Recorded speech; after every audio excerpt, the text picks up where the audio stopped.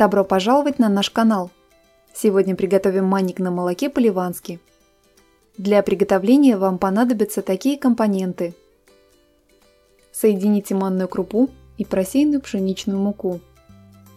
Добавьте щепотку соли, молотый анис, ванильный сахар, куркуму и разрыхлитель а также по желанию немного апельсиновой воды или ароматизатора или 1-2 чайные ложки апельсиновой цедры. Хорошо все перемешайте. Влейте растительное масло и еще раз все тщательно перемешайте. Если цвет массы получился не слишком насыщенным, добавьте еще немного куркумы. Растворите сахар в теплом молоке.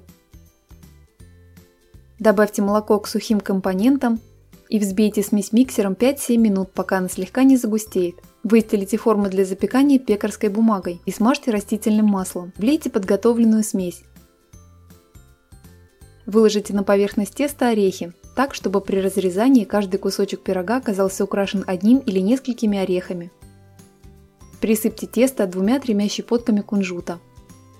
Поместите пирог в разогретую до 180 градусов духовку и выпекайте 35-40 минут до золотистого цвета. Готовность проверьте, проткнув пирог деревянной шпажкой. Если шпажка выходит сухой, пирог готов. Оставьте пирог в форме на 10-15 минут, а затем извлеките, разрежьте на порционные кусочки и подавайте к столу.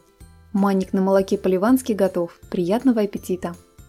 Рецепт с пошаговыми фотографиями можно посмотреть на нашем сайте. Ссылка находится в описании под видео.